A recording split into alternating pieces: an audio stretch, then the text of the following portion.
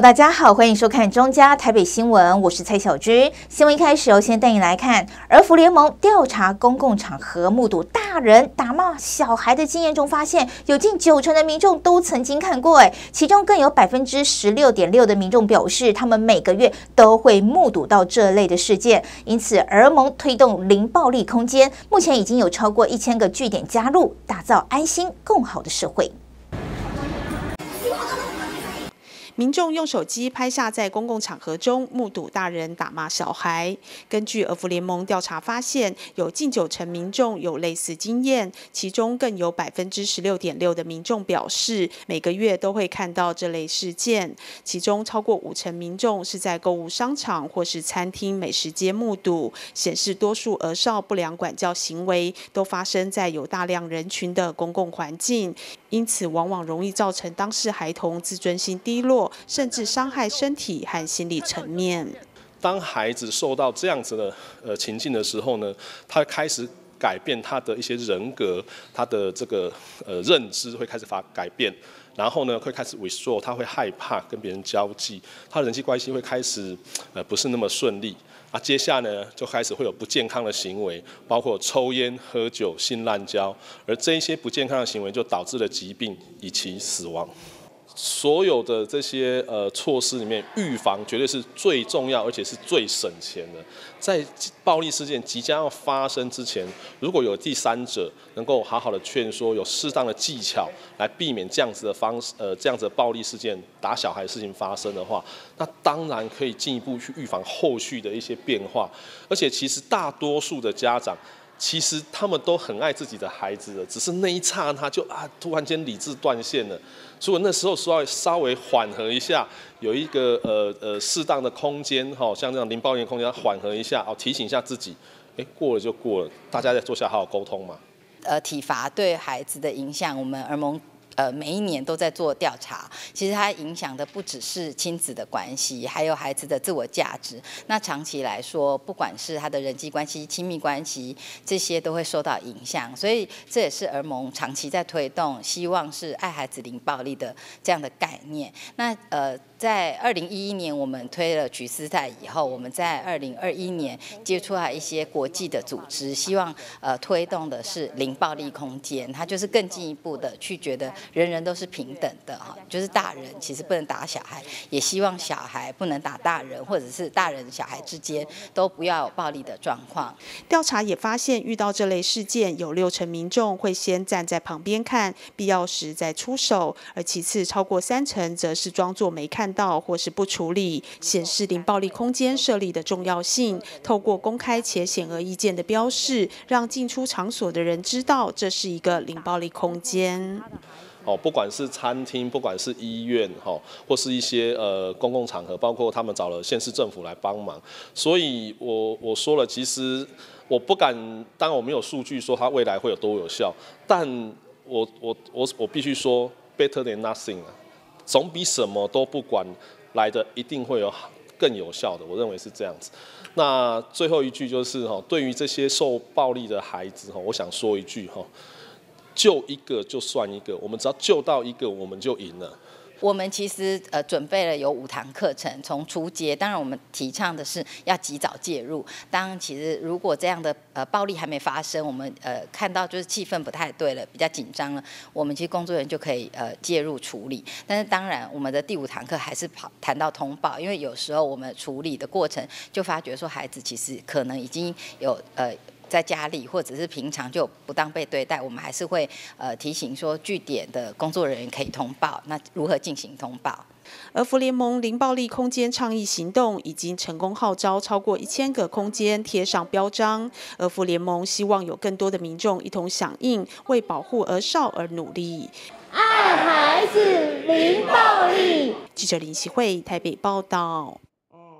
侯闹老人福利基金会举办寒冬助老刻不容缓独居弱势长辈关怀计划，希望在四个月内募集到三千万元来帮助老服务经费。邀请到连续六年担任寒冬助老的公益大使 Ella，呼吁民众用爱来帮助角落的孤独老人。我们来看看。投钱币夹娃娃，艺人 ella 陈嘉桦和独居长辈差一点就夹到拐杖爷爷娃娃，不死心继续夹，终于夹到，开心的又叫又跳。这台创意捐款娃娃机是红道老人福利基金会结合时下流行设计，发现角落孤老人大型创意捐款娃娃机，结合商场展开北中南巡回展。让民众与朋友、孩子、家人体验娃娃机时，也能同时关心独居弱势长辈，拯救角落孤老人。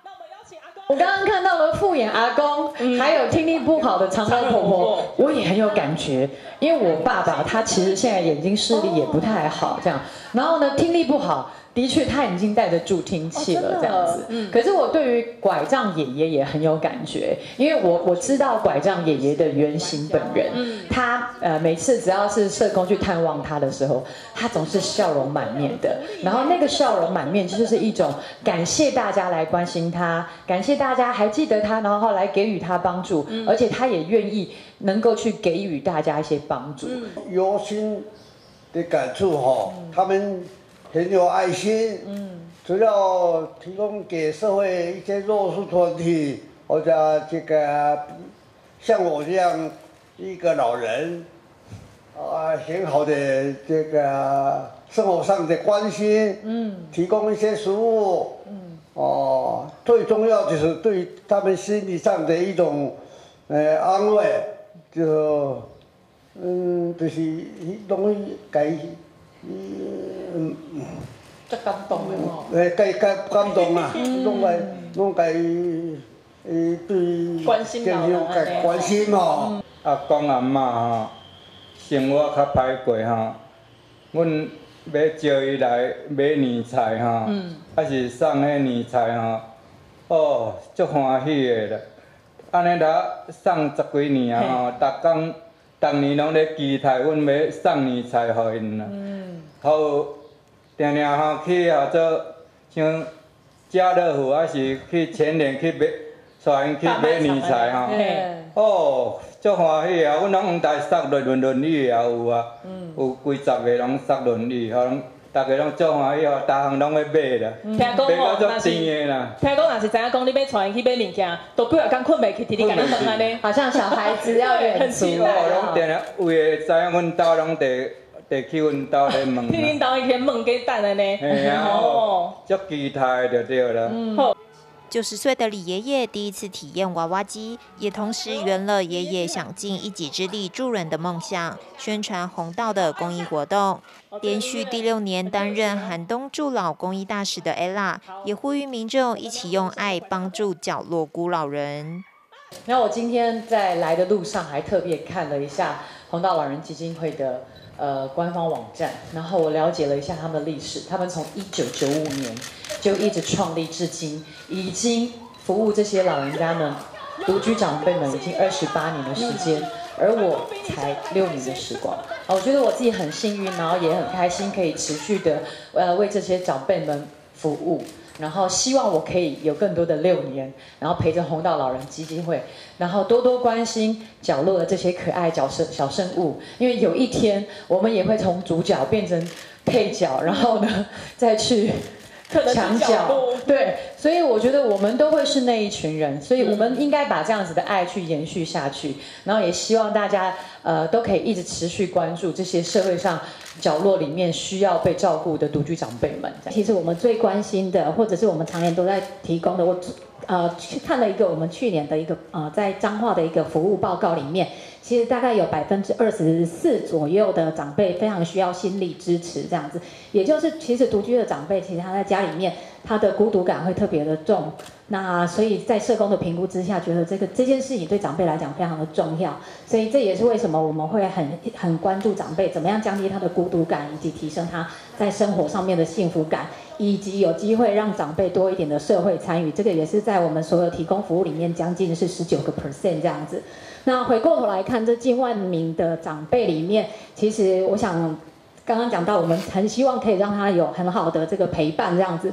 那我最近因为快过年了，所以我今天早上的时候我就想说，哎，那不然我来搜寻一下，在那个 Google 的那个图片，不是可以搜图片吗？我就用过年两个字来搜这样子，然后出现在第一页里面有两排图片，其中十一张图片里面的七张里面呢，那个照片都是满满的人在围炉。然后我就想，哇，其实这个大家对于过年，特别是年节这件事情，大家第一个想象就是很多人陪伴，然后很多人可以一起吃饭。这个也更凸显了，其实我们一直很关心长辈。其实平常他们没什么机会有人可以陪伴他们，除了我们的志志工、我们的社工这样。所以在呃年节期间，就是接下来十一月到二月的时候，我们很希望透过寒冬助老的呃服务计划，透过呃陪他们呃一起可能是除旧布新，然后陪他们呃送他们呃这个过年需要的物资，那或者是带他们走出家门，一起来陪购物，然后陪他们吃一顿围炉餐，然后或者是过年了之后，长辈最喜欢去的是到庙里面去走春跟拜拜。这一切都很希望可以让他们过一个满满的有幸福的年，这样。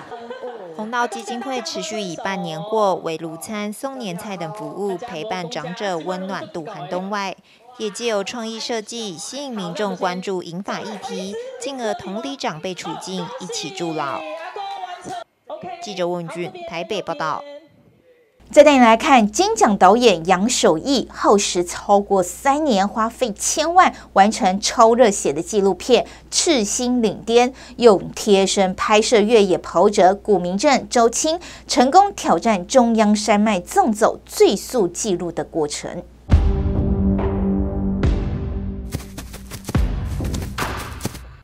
赤心巅峰记录中央山脉大纵走越野挑战，是穿越不同天候地形，在野外进行的极限运动挑战计划，由人称“山顶狼”的越野跑者古明镇发起，邀请越野一哥周青加入，两人前后共翻越四十座百岳，全长三百二十二公里，创下八天十六小时五十四分钟完赛，缔造中央山脉纵走最速纪录。我觉得中央山脉很美，我们常常说它是护国神山，但是我们其实对这个这座山的完整性是很陌生的，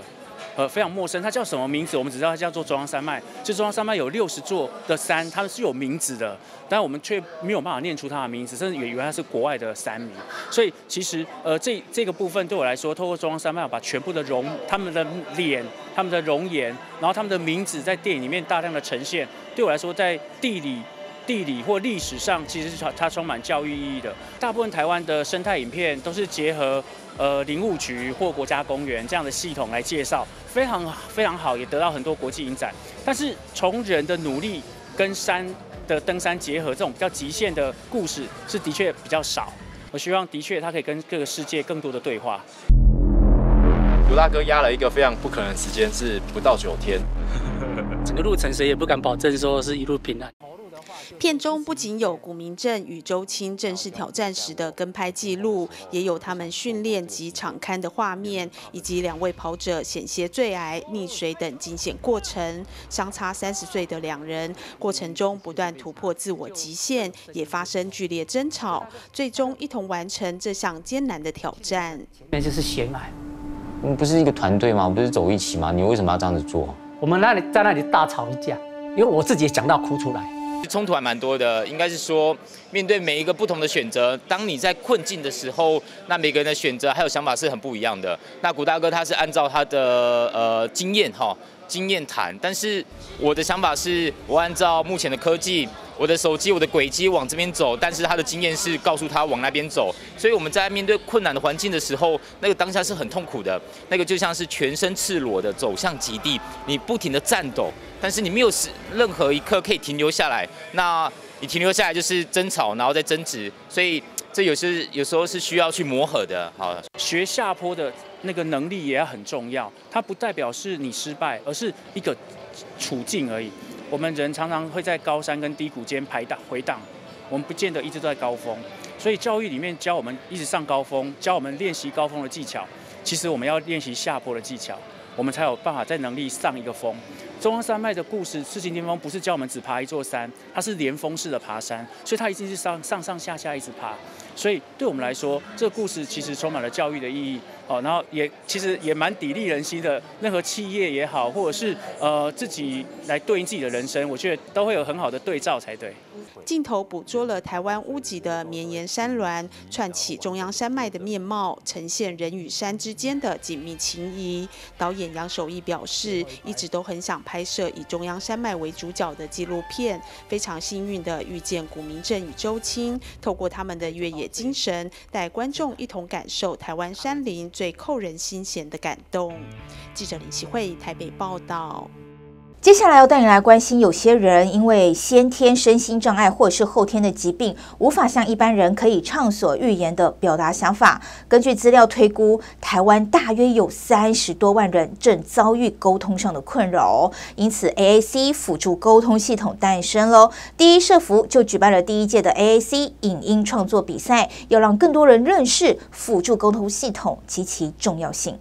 脑性麻痹的阿航虽然可以理解日常对话，但开口发音对他来说很吃力。透过辅助沟通系统 AAC，从图卡及文字点选来表达自己的想法。多重障碍的红红则是用眼神从图卡中选择想吃的点心、想看的卡通。因为有了可以自我表达及做选择的机会，红红现在可以更有自信的和人互动。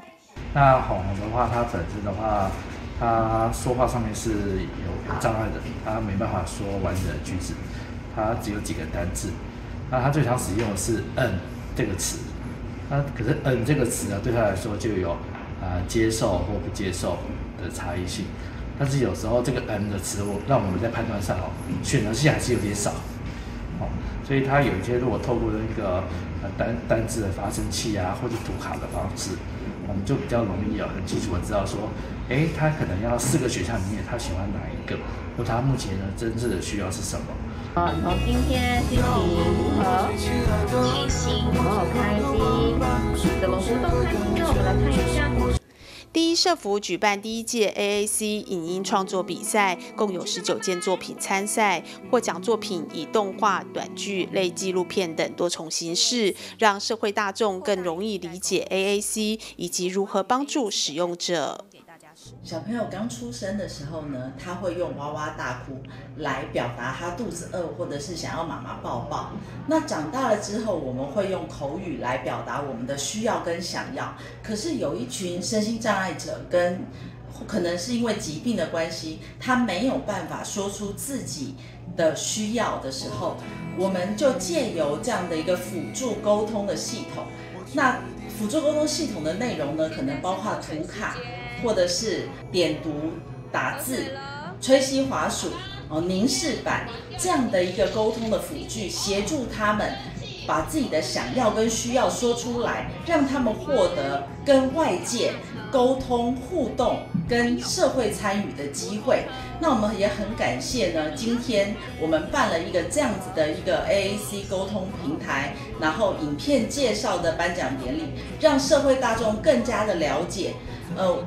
这社会上有一群可能没有办法顺利沟通的人，可以借由这样的一个辅具的帮助，跨出跟人家沟通的那一条障碍，然后让他们可以呃顺利的在在社会上与人家接轨跟沟通互动，那促进整个社会融合。第一社服希望透过这次活动，让社会大众了解丧失语言能力，不代表只能过着孤独或沉默的生活。经由 AAC 的支持，有口语沟通困难的人们，也能够和他人沟通互动，自信地表达出自己的需求、想法和情绪，享有更好的生活品质。记者林希慧台北报道。再带你来看，新义区公所与台湾国际青少年联合会举办二零二三圣诞主题音乐剧，来自世界各国的志工用满满的能量与热情，为大家带来精彩的演出。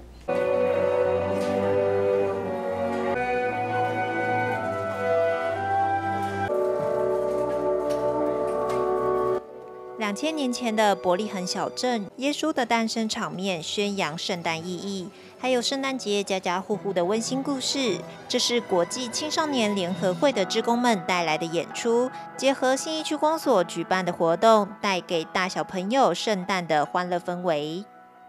呃，我们这次非常荣幸哈，可以跟我们这个 IYF 这样子的一个团体来合办我们这个圣诞主题的音乐会。那这个圣诞主题音乐会，主要也是因为我们到了年终岁末嘛，接近这个圣诞节，我们也觉得这是一个非常有意义的音乐剧啦哈。那呃，这个演出非常的精彩。我们这边所有来演出的都是我们的海外的志工，是来自好多好多个国家的。所以今天下午啊，也希望大家可以在这边过一个非常充实也非常开心的一个午后。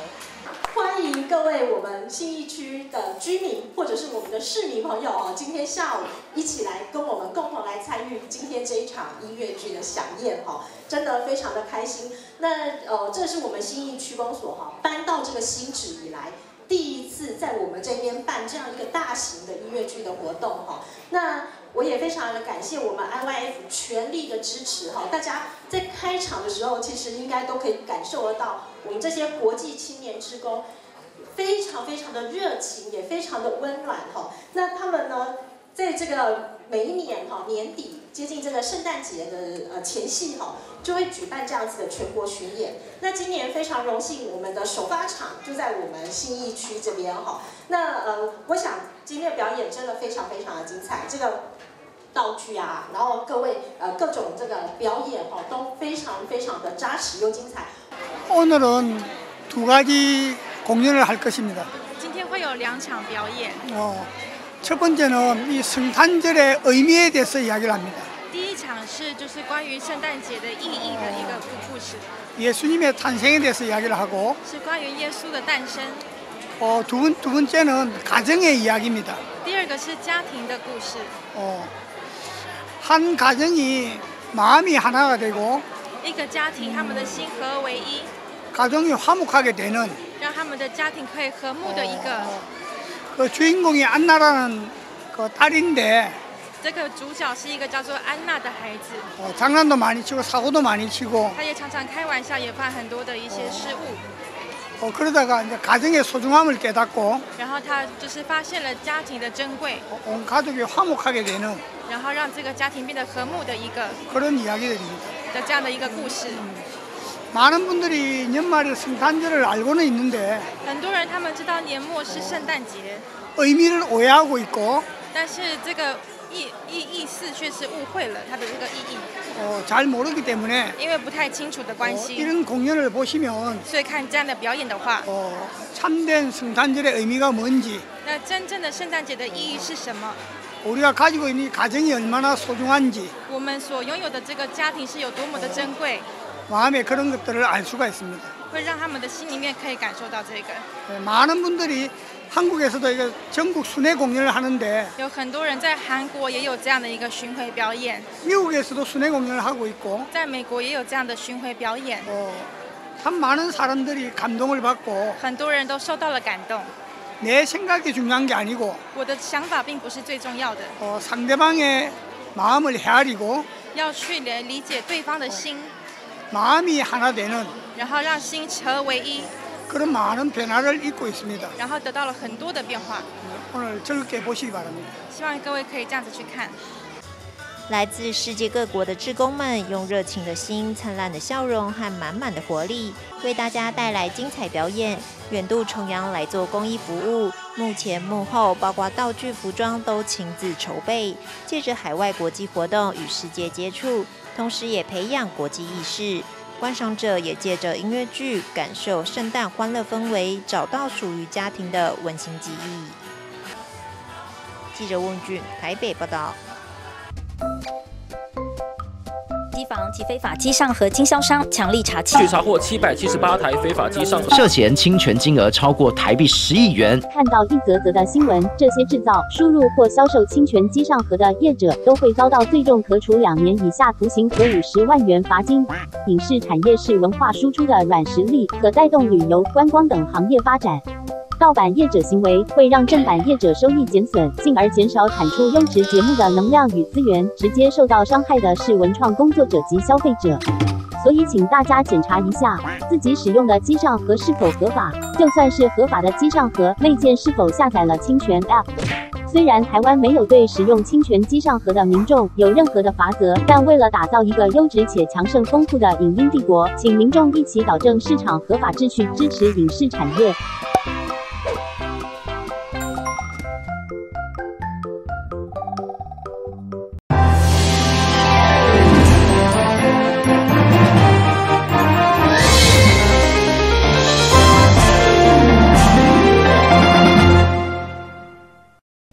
平均每十人就有一人罹患糖尿病。为了要导正国人对糖尿病的迷思，台湾基层糖尿病协会表扬长期勇敢面对糖尿病的病友。知名口琴音乐家张小婷就获得杰出成就奖。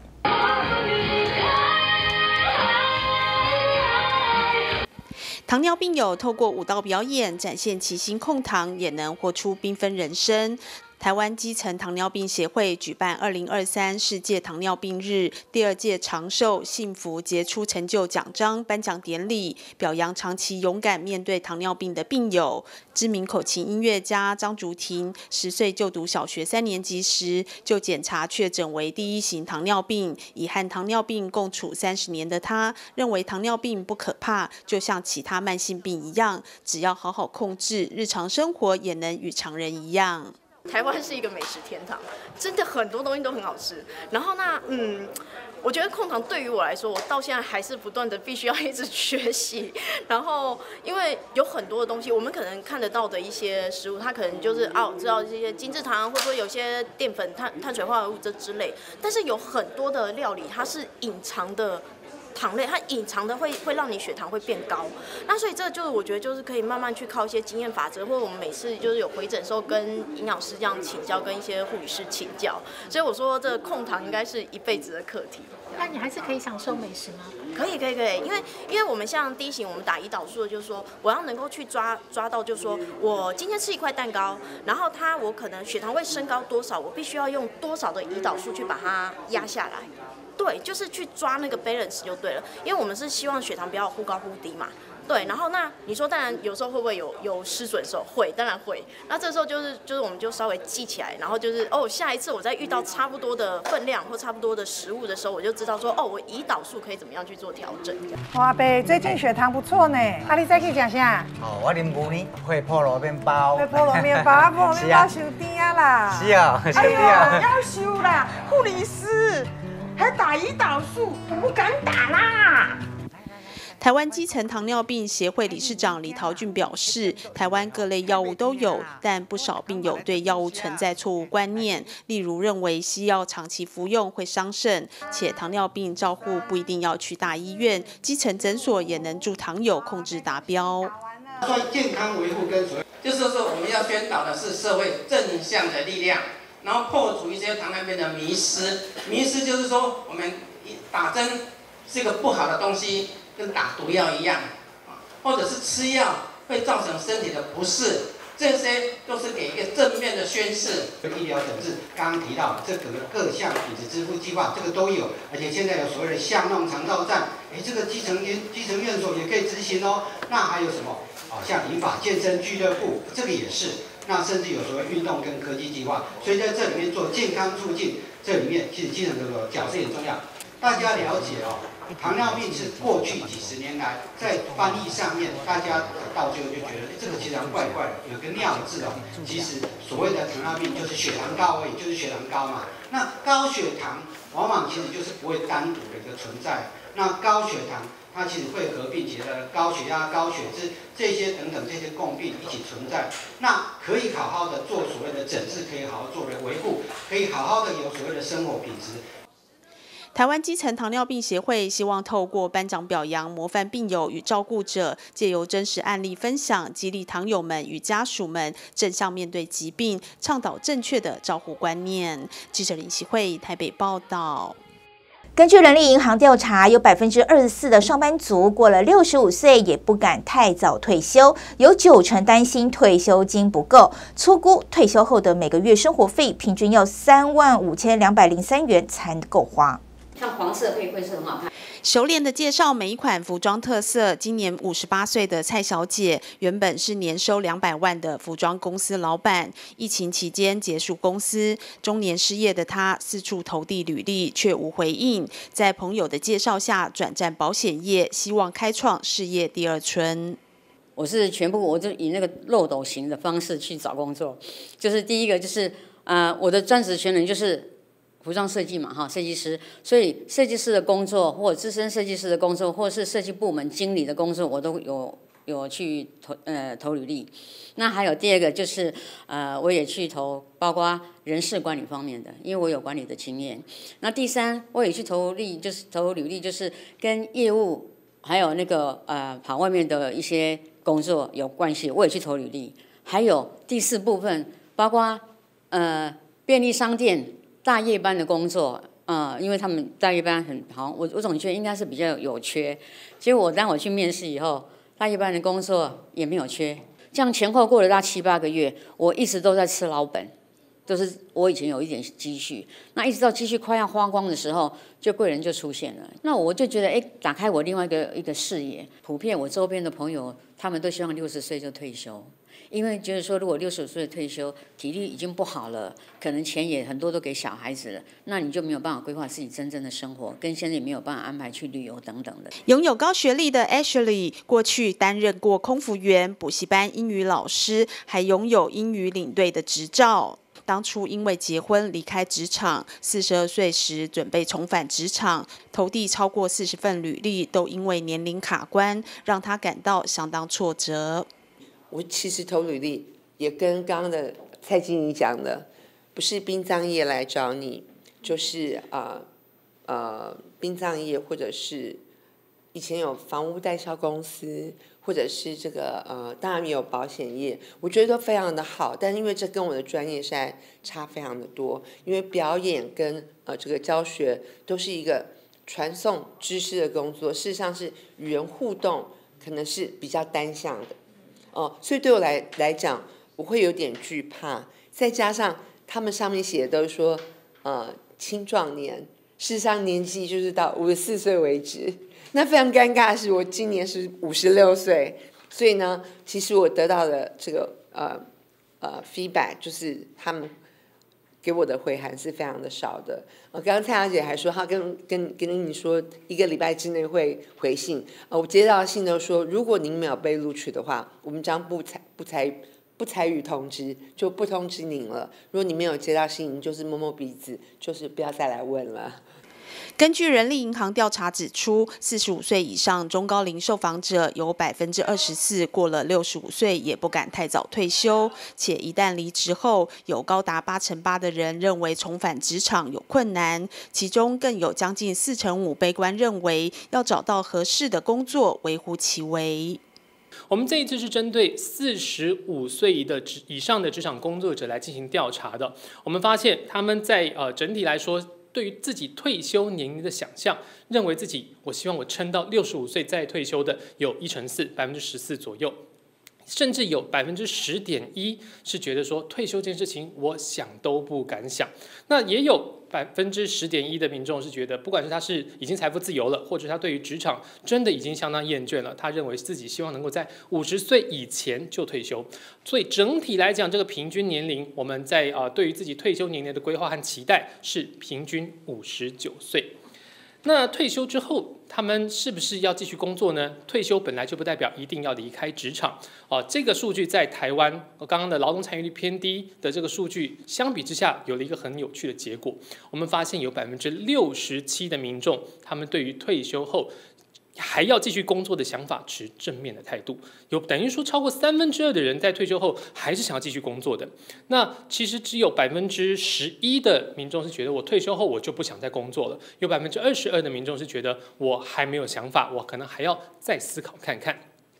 那至于退休之后要做什么呢？很多人觉得说，哦，我毕竟刚从原本的职场离开，希望能够让工作跟家庭或者是其他个人的生活能够保持一个弹性的关系。所以其实，在兼职或是计时工作的这个比例还是比较高的，有超过一半以上的一个比例是希望能够往这个方向去找。那还是希望再找另外一份正职的就比较少，大概有四成多，还不到一半。那对于退休后想要一圆老板梦的，则是排第三，有超过三成的民众是希望能在退休之后有创业的机会。那退休之后，刚刚提到到底是不用工作、不想工作，还是不能工作呢？我们发现，在台刚刚有六十七百分之六十七的民众在退休后还要继续工作的原因，很可能是经济压力。退休之后，到底要有多少的收入才能够维持理想的生活品质呢？在我们这次调查当中，整体算起来，平均的数字是来到三万五千两百多块钱。好，也就是说，大概退休金能不能够支应这个金额，就会是他退休后要不要继续工作的一个关键。那我们就发现。有百分之九十的受访者认为退休金很可能不足以支应这样子的一个生活水准哦，所以在这样情况之下，大家对于退休之后做了很多啊很多不同的一个规划。那当然，在现在还没有退休的时候，未雨绸缪的情况也是有的。我们。观察了那这些受访者对于目前在退休做准备的一个情况，比例最高的当然是劳退自提哦，也就是说，你除了本来现在就已经呃雇主帮你提拨退休金之外，自己额外再提拨百分之六的这个部分，有来到百分之五十一点八。其次依序是包括是 ETF 股票基金的投资、投资型保单的购买，或者是虽然利率并不高，但是能够存起来还是聊胜于无的定存。那最后则是。有人还是希望说，我能够投资一些副业来增加被动收入，这些都是现在还没有退休的这些中高龄的工作族群，希望能够为退休进行的准备。人力银行公关经理黄凯元表示，中高龄者具有丰富的业界经验，人际互动拿捏得宜。对于人力吃紧的餐饮旅宿业而言，透过职场再设计以及弹性工时的安排，退休族群渴望成为劳动市场最佳的再造人力资源。记者李启慧台北报道。台北市长蒋万安、桃园市长钟善政、基隆市长谢国良、新美市代理市长刘和然齐聚二零二三远见高峰会，畅谈打造北台湾宜居生活圈的想法。基北北桃合作的一千两百元交通月票，将城市相互连接成生活圈，创造经济产值近零碳排的成效。在打造宜居生活圈高峰论坛上，四位市长也对市政近一年的成果与展望侃侃而谈。未来在我任内，我要把台北市打造成第一，founder-friendly city，创业家友善的城市，我们全面动起来。第二，AI-driven smart city，一个以 AI 为导向核心发展的智慧城市。第三，我也跟高岛市长讲，台北跟福冈市，以及之前我去首尔跟首尔市长面对面谈。包括之前到上海，我也跟这些城市讲，我们希望即刻来落实我们双方两座城市创业家创业基地共享计划，也就是双方两座城市的创业团队创业家互访到各自城市，只要需要创业空间啊，co-working space，我们都可以共享。我想我们即刻来落实，所以这是台北市未来发展的一个愿景方向。目标明确，所以可以创造我们首都圈千万人口跟基本上四县市合作，一起努力。呃，我上任以后，呃，譬如说营养午餐免费，或是这个小学里呃这些中小学老师这个呃这些呃非正式的老师啊，全年聘请，让这些学校教育能够水准能够提升，老师能够安心的教书，让这些劳工说，虽然我们没有办法直接去补贴他的薪资。可是他的这个，因为劳工相对都比较年轻，可能他们的小孩在就学，所以这个呃营养午餐不要在你家长负担，你们的学校老师要让你们放心，他们绝对会非常安心的把小孩教好等等啊，所以这个是第一件，我们希望说他没有后顾之忧，在学校里面呃上学的小朋友们这些子女们，能够让他们觉得说在桃园虽然。刚刚讲说，薪资不像高科技那么的光鲜亮丽，可是，在桃园就学环境，他们可以先安心。大家都了解，我们基隆俗称渔港啊、雨都啊，它下雨呢，一年超过两百天，而且这两百天呢，有一百天可能是集中在冬天的四个月里面，发生的。所以我未来有一个很重要的一个特点，就是要打造基隆成为全台湾最多优良室内空间的一个城市。我们首先先打造亲子的空间。我们在我就任的三四个月，我们就打造了两座所谓的室内儿童乐园。我们在耶诞节前还可以再开两座，然后在明年第一季还可以再开三座。那现在呢，其实跟这个两位呃双北的市长报告一下，我也很开心。现在有很多家长其实会带孩子到我们的室内儿童来玩，因为很简单来说，因为我们室内儿童乐园虽然是公益的政府空间。但是商业等级是营运营业等级，但是我们把它当做是一个公益跟社社会的一个设施。所以呃，第一阶段我们希望打造亲子的，再来我们打打打造给成人的运动，以及大家都知道现在都很重视毛小孩，毛小孩也是跟我们小孩一样疼爱。所以未来基隆希望有很多的很棒的亲子空间以外。也会打造很多毛小孩的亲子的室内空间。我们利用我们的区域习惯跟基北北桃一起连接，所以林口我们跟巴黎淡水它有智慧物流，因为我们有台北港过来后，板桥、新庄、三重、泸州、五股、泰山是我们金融跟数位的中心，像 Google Google 那个 Google 的总部就在我们板桥。再往南边到了中和新店，我们有高阶医产，因为双和医院。配合我们的宝高很多的大的企业进驻，再往北走，我们可以到我们的戏子、资通讯，跟我们的南港跟基隆可以变成一个经贸的南带。然后往右边走，我们可以看到我们土城的传统的智慧制造开始开始转型升级。然后三英文创可以跟大溪整合在一起。面对四个城市如何跨域合作，蒋万安自豪一千两百元月票，张善政则谈到焚化乐色合作印象深刻，也希望四个城市共同打造城市生活风格。谢国良认为深化区域合作是必要的，未来基隆捷运的建设将能大幅提升基隆的竞争力。呃，首先基隆一定要合并成直辖市，所以我们跟新北、跟双北。还有跟基北北桃跟桃园，我觉得我随时随地都会提醒我们这些直辖市们，哦，应该未来我们有机会的话一起来谈合并。但是我们要把我们自己的条件要把它提升，所以我想透过我刚刚讲的，把基隆的条件做得更好，透过基隆捷运把周边的整个产业跟就业发展出来，我相信那个时候就会水到渠成。在七月份的时候有机会到新加坡去参访，新加坡。他们真的非常的用心在很多政策的规划，他们有一个二零三零 Green Plan，二零三绿色计划，而且很明确的执行方向跟做法。比如说，他们二零三零年要再多种一百万棵树，很具体。他们在尖峰时段要使用大众运输工具的比例要达到百分之七十五。到二零三零，有百分之二十五的学校要达到碳中和，所以我们去新加坡也特别去他们的环境永续部，去跟他们座谈，去了解他们怎么样来推动达到二零三零进行碳排的目标。所以台北市，我们回来我们也拟定了每十年阶段性的减排目标，二零三零我们要减百分之四十，二零四零希望就能六十，到二零五零百分之百。我觉得我们将来四个城市在这个合作平台上面，我希望在开始啊，我们基础建设大家都在努力进行，中央有支持部分经费，大家都非常努力，非常辛苦，因为呃捷运新建所造成在地交通的这个呃冲击。可是我们开始要去打造我们四个城市合在一起所谓生活品味。生活品味叫什么？是体育活动是一种生活品味，文化活动是一种生活品味。比如说。过一阵子我再讲新北好了，你们那个椰蛋城，椰蛋城啊，我们自己搞个椰蛋城好不好？不好啊。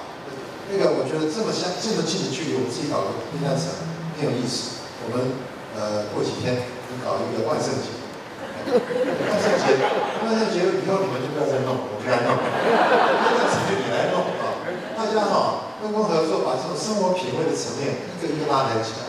会后接受媒体联访时，被问到蓝白河议题，四人先尴尬微笑对视。张善政说没涉入细节，不便评论。蒋万重申朝政党轮替目标前进。基隆市长谢国良则盼柯文哲、侯友谊面对面谈。记者问俊台北报道。全民健康基金会主办的好健康小学堂，今年跨出都会区，整合各方的资源与爱心力量，达到全民健康的宗旨。大家，你知不知道食物吃进去之后会到哪里？胃会去哪里？小肠道。太厉害了！然后还有呢？食道。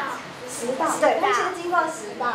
基隆市复兴国小小朋友来到台北全民健康基金会上课，透过互动式课程设计，学习健康知识。这是全健会主办的好健康小学堂活动，今年跨出都会区，前进新北市、基隆市小学，提供优质课程。让我们未来的国民健康教育、小学堂教育，可以像我们合并注册一样，从台湾北部到台湾各地，桃园、基隆、南部、东部贯穿中央沙漠。打通任督两脉，南部跳过浊水溪，打到蔡总统的家里，横分半岛，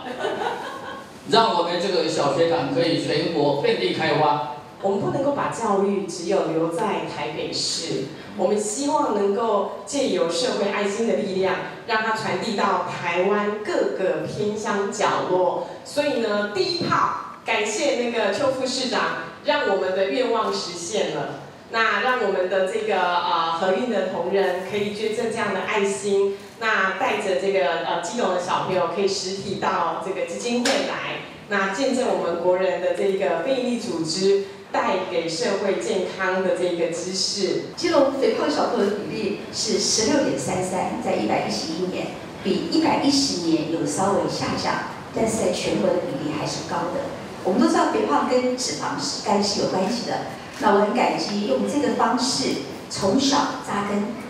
小孩子健康好，我们将来才会有前途，才会有希望。我们二零一七年最早的伙伴就是台北市，哈，台北市政，然后我们有呃从从第一年开始执行这个好健康小学堂，一直到现在。我们台北市一直都有机会参加，哈，对，非常非常感谢。我们总共有超过两千以上，啊，两千名以上的师生有参与这个活动。然后每个活动回来，我们都有看到回馈。我们的老师、小朋友们对于这样子非常非常有呃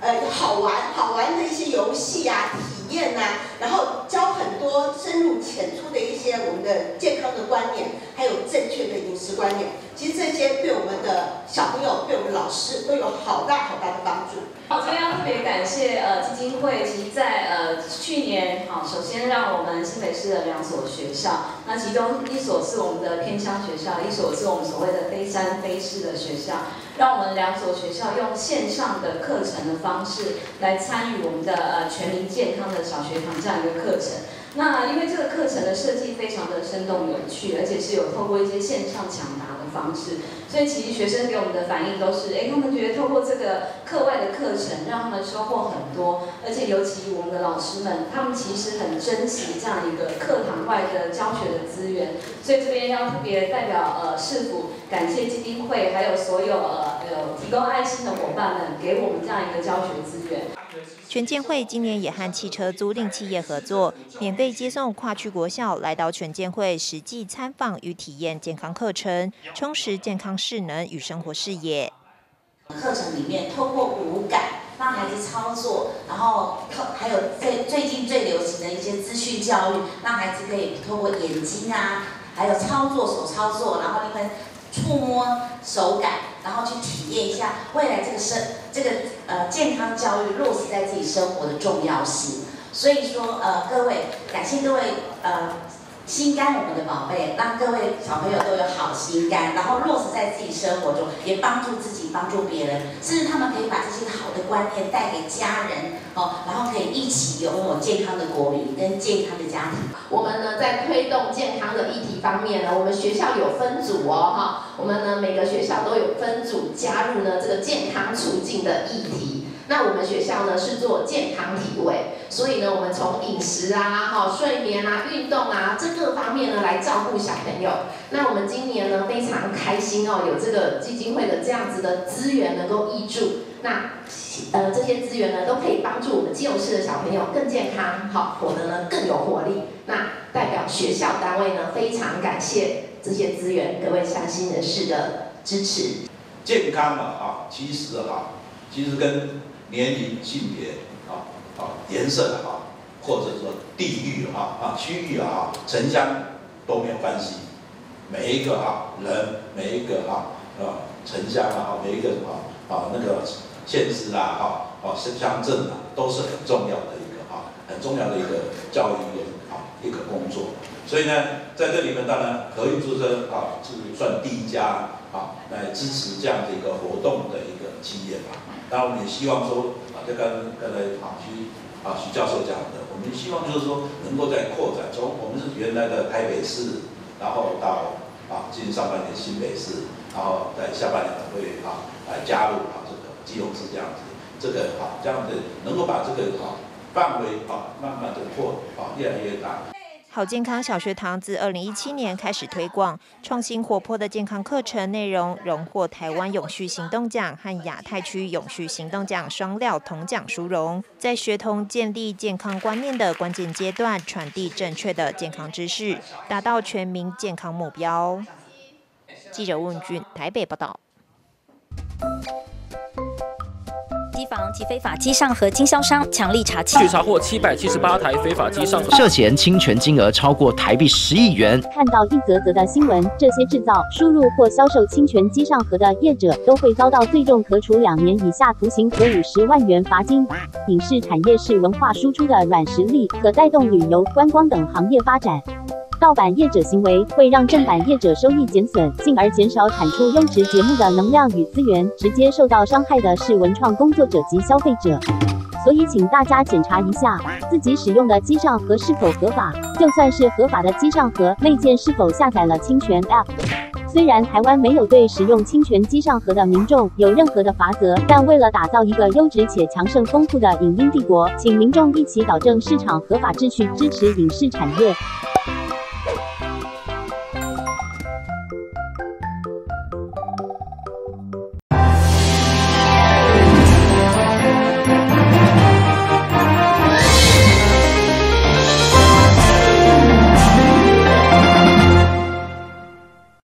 届美丽基隆影片及摄影创作比赛结果出炉，副市长邱佩玲出席颁奖典礼，肯定出自于创作者内心诠释基隆这座有爱城市，展现基隆的乡土情怀。最佳影片奖是的哦，陶海人的情书由何谦跟蔡陈婷，恭喜何谦还有陈婷，恭喜上台。第六届美丽基隆摄影及影片比赛公布今年最佳影片奖，参赛作品《陶海人的情书》获得评审青睐。较早拢出去两三天就转来，即马即个船哦，拢爱去一个月，爱家己哦，唔惊啦，唔惊吐啦。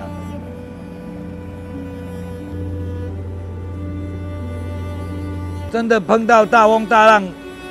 就在海边漂流啊。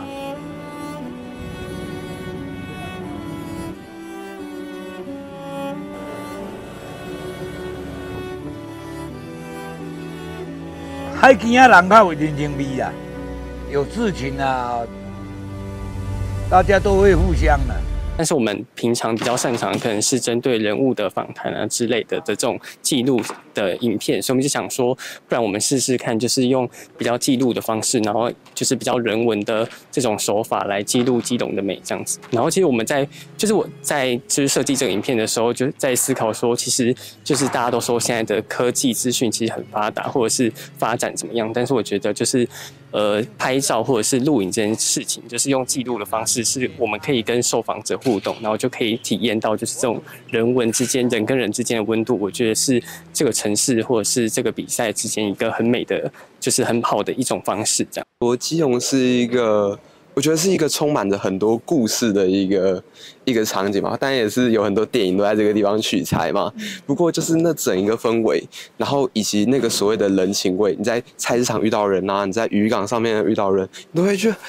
带着，你就会觉得他们好像都很有故事。而最佳导演奖、最佳剧本奖、最佳手机奖和杰出作品奖，每一件作品都从金融角度出发，呈现人文风情和有爱的城市。副市长邱佩玲亲自出席颁奖典礼，肯定创作者的用心，用镜头呈现美丽基隆。美丽基隆有爱城市啊，透过不同人的眼光，让他们描述出对基隆这块地方的爱。呃，我觉得很感动的是，每个人从不同的角度出发，有从风景的，有从人文的，有从最细节的环保，还有各式的不同的面向。我觉得让大家看到了基隆的美，更重要的是基隆的文化的内涵。呃，这样的活动我觉得很有意义，也很棒。当然，也要感谢我们在地的吉隆有线电视，可以为在地让更多人认识基隆。好，恭喜我们的金奖得主巫子谦。而摄影组金奖由观音大士庇佑游轮获奖，就像观世音菩萨无时无刻保佑基隆这座城市。更是与今年有爱城市比赛主题相呼应。是不是有机会获奖？大概就是怎么样去说这个故事。然后这一届的这个比赛，这一届的比赛，我觉得每个人每一个创作者都有他自己的叙事方式。所以我们在评选的过程里面，其实我们其实很高兴会看到那么多元的影像，而且有非常多呃自媒体的创作者都。拍出非常好的影片，所以我非常非常鼓励，就是年轻人可以思考一下，除了在画面之外，怎么样透过一个精彩的叙事方式去说关于你想说的故事。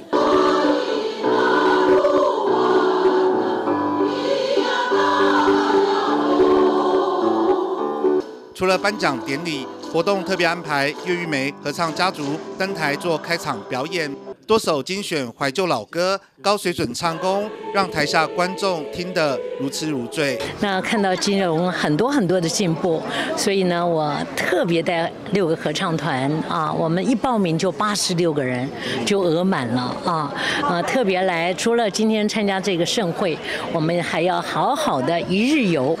啊，把金融最漂亮的地方，情人湖啊、和平岛公园啊、曹金公园呐啊、外木山的步道。都走一趟，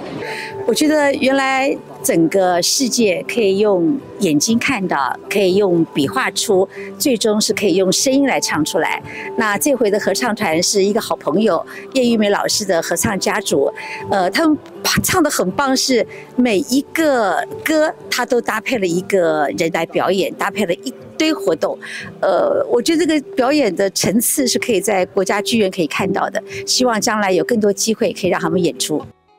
第六届美丽基隆摄影比赛分为影片组和摄影组，摄影组参赛作品有四百零七件，影片组有三十八件，报名相当踊跃。所有得奖作品从即日起到十二月十四日止，在基隆东岸商场二楼展出，另外也将在基隆公用频道和魅力基隆 YT 频道播出。记者黄少明基隆报道。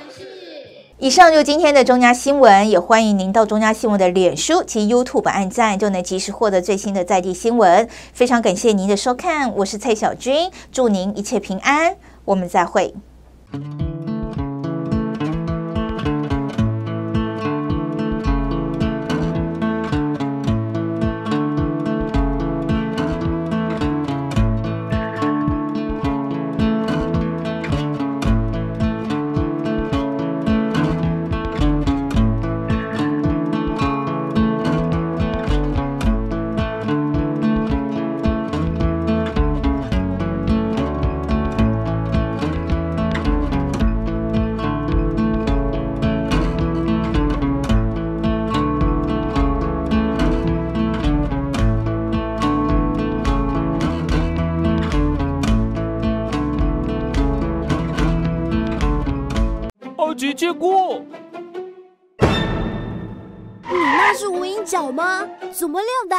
快教我！什么无影脚？是我的地价税蒙赢了，赶着去缴税了。不用急，现在用手机缴税超方便，只要扫描缴款书上的 QR code 就能轻松缴。另外还有这些多元缴纳管道可以选择哦。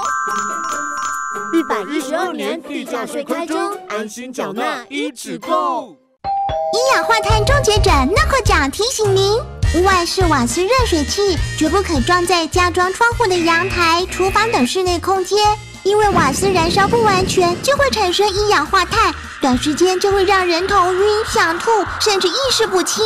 想保命，跟我这样做：一、热水器迁移至屋外；二、更换成强制排气式热水器；三、改用电热水器。诺克奖祝福您洗澡通风保安康。